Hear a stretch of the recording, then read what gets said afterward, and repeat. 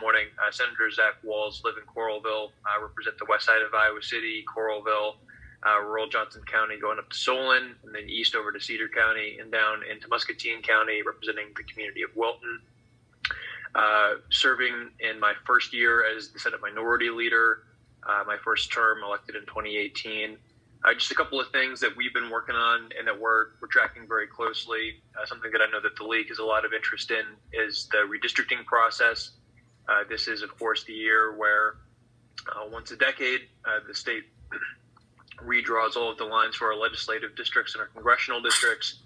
And so this is going to be, um, you know, obviously a year that has a lot of importance for the next decade. Uh, one of the things that we learned in the last few weeks uh, that has some pretty serious ramifications for redistricting is that the previous uh, presidential administration um, ran into a lot of trouble with the census. And so the data coming down from the federal government has actually been delayed, uh, potentially past when the Iowa Constitution says the lines have to be drawn by. If we miss that deadline because of the delay in the, the federal census data, the state Supreme Court has to cause the lines to be drawn. Uh, the Constitution does not spell out how exactly that process will unfold, uh, but we expect they would work with the Legislative Services Agency, the nonpartisan uh, group of folks who ordinarily would be tasked with drawing maps for consideration by the legislature. Uh, and so it's definitely going to be an unusual process this year.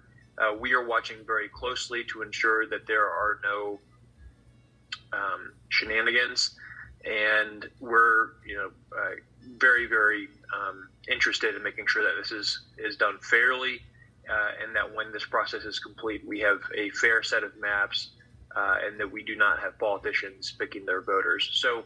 Um, I know that's only one issue, but it's an issue that affects every other issue because it determines, uh, in many ways, the balance of the legislature. We are very fortunate to have a redistricting process in Iowa that is in many ways a model for the rest of the country. Uh, historically, been very nonpartisan, and we're just hoping that we can continue that legacy this year.